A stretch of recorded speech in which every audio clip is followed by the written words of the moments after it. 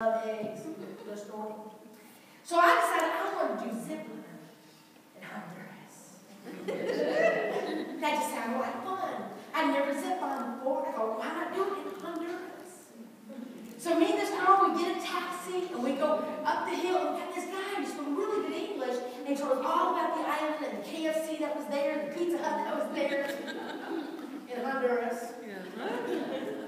And so we go up to the top of this hill and he goes, oh, you're going to love it. This is that. You're going to see monkeys. You're going to see wild birds. You're going to see other type of crit, uh, uh, uh, creatures, little animals. He said, oh, you're going to love it. I said, okay, I like. So we get out, the taxi was like, you know, 140 degrees, you know, it's Honduras, it's hot, central part of the world, you know, hot all the time. And we get out there, and they're like, and I didn't know there was a weight limit to most of the zip line places. And I couldn't understand why there was a weight limit.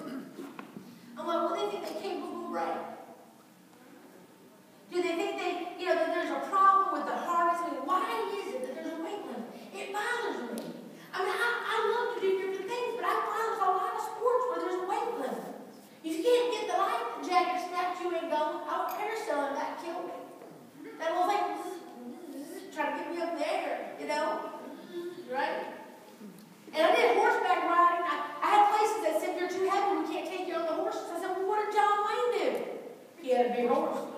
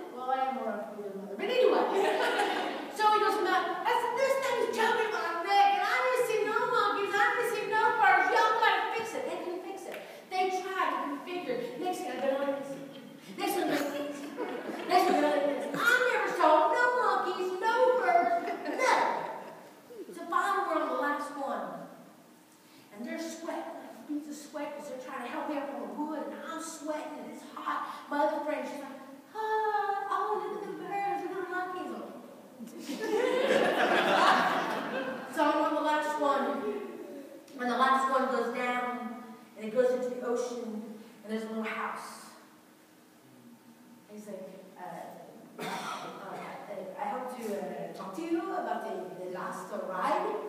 Okay? He says, uh, the, because of your roundness. Says, because of your roundness.